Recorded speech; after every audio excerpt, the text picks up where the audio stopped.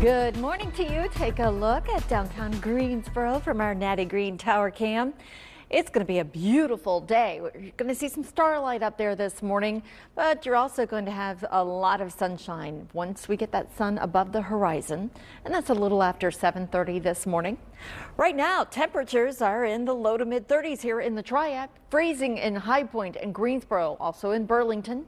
34 in Winston-Salem. Headed down that I-85 drive, you're going to have some upper 20s just outside the Triad through Lexington and also down to Salisbury and Charlotte.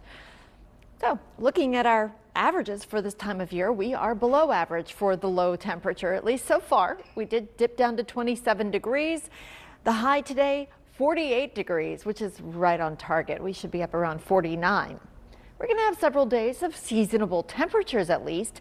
But what's interesting is we're getting in this new pattern where we're seeing more and more systems coming out of the Gulf of Mexico and bringing in rain. Now, the first is going to be coming in tomorrow evening, uh, but it's not going to be bringing a lot of rain. We're going to have sunshine today, mostly clear skies overnight. But you can see way down here to the south, see that low off the Louisiana coastline? Well, it's going to be traveling here across the northern Gulf of Mexico, and it'll toss some showers up here into the at least southern Piedmont. We're not looking at big quantities of rain from this system, but we will have more rain on the way for Saturday. And then again next week on Tuesday.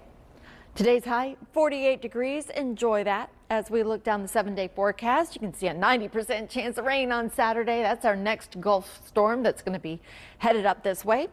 And we're going to enjoy, uh, hopefully you will enjoy those cool January temperatures in the mid to upper 40s through Sunday.